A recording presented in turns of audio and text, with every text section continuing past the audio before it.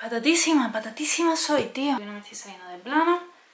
Creo, ¿eh? Pues que sí. A ver, lo que llevo para conseguir un plano guay de mi jepeto en esta situación, en este nuevo encuadre, no es normal, tío. Hola, ¿qué tal? ¿Cómo estás? Yo soy Yaiza y hoy estoy aquí un día más en este canal en el que hago vídeos de YouTube por norma general un poco más orientados al tema de la cosmética, de maquillaje, de las reviews de productos, productos terminados, tal, tal, tal. Y que es verdad que hay veces que me salgo de esa temática como en este caso en el que estoy haciendo un vídeo, bueno, es que yo no me gustaría llamarlo vídeo de Halloween porque no voy a contar cosas de Halloween como tal, aunque sí que son un poquito cosas así un poco más yuyu, más de miedo. Pero no sé, lo hago en Halloween porque me pega, ¿no? Es como es la spooky season, ya nos han digamos, configurado para que nos peguen este tipo de cosas en esta estación, aunque realmente es que los temas de misterio pues a mí me gustan todo el año, no me gustan solo en este momento, pero sí es verdad que en este punto del año nos suele atraer más este tipo de cosas. Entonces he decidido hacer un vídeo, por cierto, hice uno el año pasado, que os dejaré por aquí linkeado, y la verdad es que tuvo bastante feedback. Una cosa que me dijisteis mucho en el vídeo es que me enrollaba muchísimo y contaba mucho rollo y al final os aburríais algunos porque me tiré como 6 minutos introduciendo el vídeo y bueno, hoy voy a ir a piñón fijo, no me voy a enrollar y nada, voy a, contar un poquito pues un par de cosillas raras que me han pasado últimamente y también un poco de historia de, de aquí, de mi zona, de cosas que pasan por aquí y tal, que son bastante interesantes. Bueno, voy a empezar un poco hablando sobre un tema que es tradicional, ¿no? De hace muchísimo tiempo, que se tiene como, digamos, culto a las ánimas benditas. Las ánimas benditas pues son esas ánimas, si eres de la religión católica y cristiana pues sabrás un poquito de qué va el tema, si no pues yo ahora te lo explico. Son las almas que van al purgatorio que se están limpiando para poder entrar en el cielo, que han tenido como pecadillos durante la vida y que no pueden entrar directamente al cielo porque todavía no están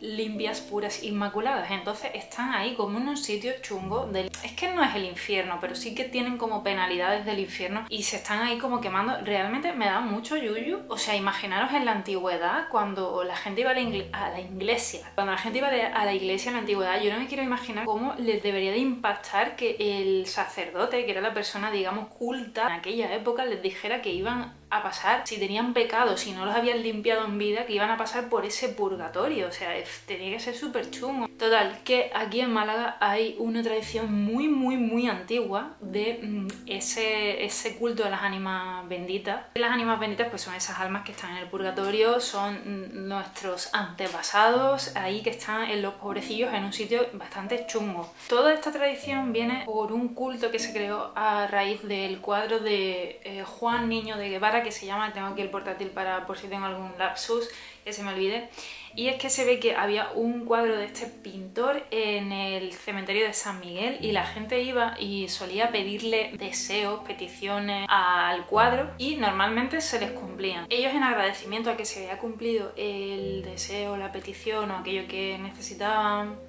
Normalmente suelen ser, eh, aquí se suelen llamar mandas, ¿no? Pues tú haces una promesa a un santo, tú hacías una promesa y si se cumplía esa promesa, pues ibas y hacías tu ofrenda. Normalmente, pues la gente hace eso aquí, no sé si se hará en otras partes, pero imagino que sí. Bueno, pues en este caso la ofrenda era eh, llevar eh, velitas de aceite, que aquí se creo que se llaman mariposas. Yo creo en mi mente que yo en algún momento creía que se llamaban palomitas, ¿no? Pero no sé, palomitas de aceite o mariposas de aceite, que son como unos charritos en los que se llena de aceite, pones como la palomita esa encima, se enciende y eso está pues bastante rato. No es como una vela normal es una cosilla así como un tarrito de aceite, que es una cosa muy antigua y yo creo que no ni siquiera lo he llegado a ver, yo siempre he visto las velas normales. En fin, que llevaban el aceite pues para poder reponer, digamos, las lamparitas estas de aceite y que estuviera iluminado el cuadro y tal. ¿Qué pasa? Que hubo un tiempo en el que se, se, cerró al público el cementerio de San Miguel o esa parte, no sé exactamente qué fue, y esto se trasladó a la iglesia de, de Santiago, que está en calle Granada, en Málaga. Y es verdad que hay muchísima tradición desde hace muchísimos años y cada vez más que la gente lleva garrafas de aceite, ya no para llenar las velas, porque mm, realmente mm, ya las velas son pues las normales o estas que son eléctricas, pero sí que la gente sigue llevando las garrafas de aceite en modo ofrenda y luego este aceite lo guay es que en vez de utilizar para llenar las lamparillas, que yo creo que ya ni se usan esas lamparillas, pues se usa para obra benéfica. Yo esa tradición de las ánimas benditas yo no la conocía, la verdad, de hecho un día me acordé de este tema y me puse a investigar y descubrí todo lo que había en torno a las ánimas benditas. Yo no soy realmente de Málaga capital, Soy de, un pueblo o una ciudad a las afueras y no, no había escuchado esto nunca. Sí que llegó a mis oídos el tema de las ánimas benditas a través de un amigo mío hace muchos años que me comentó que él para despertarse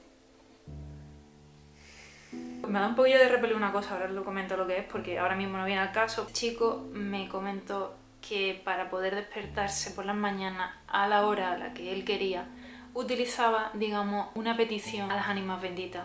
Les pedía que a cierta hora del día se tenía que despertar y le funcionaba muy bien. ¿Qué había que hacer en ofrenda esto? Yo creo que esto es como una paganización del rito, ¿no? O sea, es como que se ha adaptado un poco a lo que tú quieres y te inventas un poco el rito y haces pues lo que tú quieres básicamente. Tienes que echar un cubo de agua en la bañera, digamos, como para aliviar el sufrimiento del purgatorio de las ánimas benditas, o echaba un vaso de agua o algo siempre en la bañera, ¿no? Y era como la ofrenda. A mí eso me dio mucho yuyu cuando me lo contó la primera vez. No lo probé, en aquel momento, porque yo en aquel momento estaba muy sensible, no, no tenía yo ganas de hacer cosas chungas, pero sí que es verdad que al cabo de los años, un día me vino a la mente porque yo duermo fatal y me cuesta muchísimo levantarme por la mañana a la hora que me tengo que levantar. Y hubo una época en la que me tenía que despertar súper temprano porque mi trabajo era por la mañana temprano y estaba como un poco descoordinada porque había días que trabajaba por la tarde, días que por la mañana y como que mi cuerpo no se terminaba de ajustar a esos trueques de horarios tan extraños. Me dio la cabeza por ahí de hacer el tema de las ánimas y lo hice como unas tres o cuatro veces. Y os puedo decir que, eh, que no quiero decir palabras, pero dormía súper bien esa noche y por la mañana me despertaba a la hora en punto en la que había pedido. Además hay una forma de decirlo y una forma en la que no tienes que decirlo. No quiero que nadie lo haga y no quiero que nadie se raye. En fin, que tampoco digo yo que yo me creo esto 100% ni mucho menos, porque ya sabéis que, bueno, ya os lo dije en el vídeo este que hice el año pasado, pero quien no lo sepa, yo soy una persona súper racional, aunque me va un poco la vaina esta, o sea, me gusta todo el tema del misterio y tengo que reconocer pues que a veces he hecho cosas un poco absurdas como el tema de las ánimas benditas. Yo por norma general no suelo hacer este tipo de cosas porque a mí no me gusta, aunque ya os digo que no, soy 100% creyente de todo lo paranormal, ni mucho menos, y suelo ser una persona bastante racional, pues yo qué sé, en ese momento pues me dio por hacerlo. De esto que te da por hacer una cosa así un poco de forma absurda y lo hace y dice, ah, pues mira, pues funciona. Lo hice, ¿vale? Y me desperté muy bien tres días y al cuarto día yo empecé a pensar un poco en plan de, esto yo qué sé, eh, como que mi rayé fue como que en ese momento se sentía mal hacerlo. Es que dije, esto no, no tengo yo más ganas de hacerlo. Tal que esa noche me acosté y empecé, inconscientemente, empecé un poco a, recitar la frase esa que hay que decir. Y no la hice bien y no la terminé. A ver, y os pongo, os pongo en antecedente. Se supone que tú tienes que recitar bien las palabras porque si no lo dices bien o si no lo argumentas bien es como que las ánimas benditas vienen y te pegan un susto y te pueden estar atormentando unos pocos de días. No sé, a ver, yo esa noche no terminé de decir las palabras, en mi mente no, no las dije, no dije, fue como en plan, pensé, esto es una tontería. Y no lo dije. Estoy en la cama, me estoy quedando así dormida, un sueñecito muy bueno, tal. ¿Qué pasa? Que esa noche me dormí, estaba yo sola en el piso, no había nadie. A los 10-15 minutos de quedarme dormida, escucho en la puerta de mi habitación, que es una puerta de madera, escucho como si alguien... A ver, aquí tengo algo de madera. Como si alguien hace así y hace así con la mano. De verdad. Me desperté así en plan de... ¿Qué ha sido eso? Salí de mi habitación vi que no había nadie. Mis gatos estaban los dos aquí durmiendo en mi cama porque normalmente cuando yo me acuesto ellos se acuestan también. Un poco raro la verdad. A ver, no me dio miedo porque es que ya os digo que no soy muy miedica. Sí que soy un poco... que me rayo a veces, pero no soy exageradamente miedica. Pero fue, escucha esto. Y fue como una palmada en la puerta, o sea, se escuchaba como si alguien hubiera dado la palmada en la, puerta y se hubiera escuchado como de deslizar la mano un poquito. No sé, muy raro, muy muy raro y de hecho a partir de ese día no pensé, no lo voy a hacer más porque además no, no sé, como que no me hace falta. Me mentalicé de que no le iba a hacer más y ya está. Y bueno, puede parecer una chorrada, puede parecer algo extraño, no sé, y que a lo mejor escuché otra cosa en casa que no tenía nada que ver. Yo estoy 100% segura de que escuché la puerta, aunque también te digo que estaba dormida o medio dormida, entonces puede haber escuchado cualquier cosa, pero bueno, es curioso que justo en esos días pasara exactamente eso. Y ya os digo que yo no me fui a dormir ni con miedo, ni rayada, ni nada por el estilo. Pero cosas extrañas que pasan. Y ahora os voy a contar otra cosilla que ya os digo que hoy no me enrollo mucho, pero voy a contar una cosilla que me pasó, bueno, me lleva pasando hace un tiempo y es que os conté en un vídeo que me estaba maquillando y tal, que había tenido como algunas cosas así rarunas en la tienda en la que yo estaba antes y es que, que escuchaba muchísimos, pero muchísimos pitidos en los oídos, de hecho llegaba hasta tener la sensación como de que alguien me taponaba las orejas, o sea, como si alguien me pusiera así las manos así Una cosa muy rara cuando estaba en aquella tienda. Mm, es verdad que al tiempo me dejó de pasar, pero sí que el tema de los pitidos no, no se me ha terminado de ir nunca y me va como por racha. Y es que me pitan muchísimo, pero muchísimo los oídos y por eso me acabo de rayar cuando empecé el vídeo, que hacía muchísimo tiempo que no me pitaban los oídos y justo cuando empezaba a hablar de lo de las ánimas benditas se me metió un pitido aquí en plan y por eso me queda un rato. Hola, hace mucho tiempo que no me pitan los oídos, ¿vale? Y justo ahora empiezo a hablar de esto y me lo que venía a contaros del tema de los pitidos de los oídos. Hace un montón de tiempo que me pitan, no tengo tinnitus, porque el tinnitus es otra cosa, o sea, no encaja en eso. No tengo cerumen, porque fui a un especialista a mirarme, de hecho el especialista me dijo, ya otorrino porque no tienes ningún tapón ni nada, están limpios los oídos. Sí que es verdad que a veces me noto pues, que tendré algún tapón, pero eh, ya te digo que el ATS que limpiaba los oídos me dijo que estaba bien, que no había nada extraño ni que me fui a mi médico, mi médico me mandó analíticas, me preguntó si estaba bien del riñón y pasó del tema y ahí se quedó la cosa y nunca más he intentado ir al otorrino porque pues mi médico no me lo mandó. Hace no mucho tiempo pues falleció un familiar mío, pues esos días pues evidentemente lo estaba pasando muy mal, por lo normal, esos días estás como un poco más debajo. Bueno pues estábamos esa noche en el duelo y yo esa noche estaba todo el rato escuchando pitidos pero todo el rato sin parar, pero una cosa loquísima, en plan, estaba hablando con alguien y de repente pi, y hablaba con otro, pi, yo, yo eso en ese momento pues yo lo achaco al cansancio, al estrés, llego a mi casa y lo típico que pues estaba antes de acostarme un ratito pues en la cocina hablando con mi padre. Y de repente me dice mi padre Uf, dice, qué pitido me acaba de entrar en el oído. Y es que justo en ese instante en el que dice mi padre que le se le acaba de meter un pitido en el oído, le digo, es que yo también lo estoy escuchando. Y le digo, y además llevo escuchándolo toda la noche.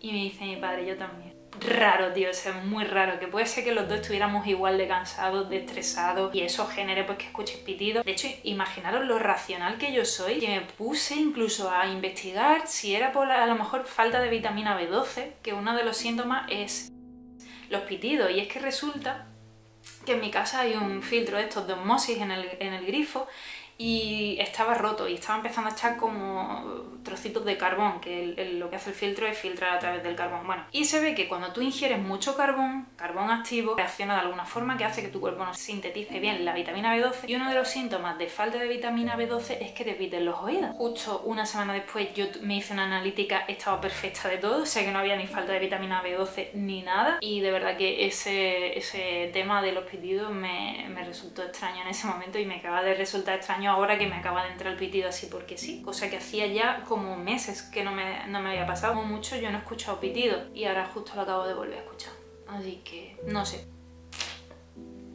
cosa extraña. Imagino que a muchísima gente os pasa también y seguramente os estaréis sintiendo reconocidos con este tema y también como yo pues en algún momento, aunque seamos racionales y pensemos que seguramente es algo físico que está en nuestro cuerpo o que se produce por estrés o lo que sea, en algún momento imagino que os llegaréis a plantear de oye pues será otras cosas que no sabemos a ciencia cierta que existen o que están ahí. Y nada, ¿qué ha pasado? Coméntamelo, déjamelo en comentarios en qué situaciones has escuchado pitidos o has tenido este tipo de situaciones extrañas en las que dos personas escuchan el mismo pitido a la vez. Y si, bueno, pues si sabes cuál es la explicación física, eh, lógica, científica de esos pitidos, por favor también te agradecería muchísimo que me lo dejes en comentarios. Nada, hoy como dije no quería enrollarme mucho, era solo un par de cositas. De hecho, el vídeo largo lo tenéis del año pasado, os lo linkearé por alguna parte porque ahí os conté todo, todas mis experiencias paranormales, entre comillas. Y nada, si le queréis echar algún ojillo, pues por aquí abajo en la cajita de descripción os lo linkearé también. Y nada, pues si os ha gustado el vídeo, por supuesto, dadle a like. Seguramente si si me pasa alguna cosa más os la voy a contar en siguientes vídeos, o sea, si tengo alguna experiencia paranormal más, que por cierto me sigue pasando lo de la lamparita de sal,